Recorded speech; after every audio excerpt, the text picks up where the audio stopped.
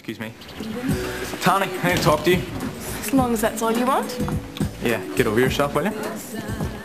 Michelle's been really nice to me ever since that awful scene with Nina in the coffee shop. Yeah, well, I'm sure Nina wouldn't lose her cool without any good reason. Brain seizure probably. Tell me, what's up with you and her? I don't know what you mean. Tahnee, don't play games. There's something going on between you two and I want to know what it is.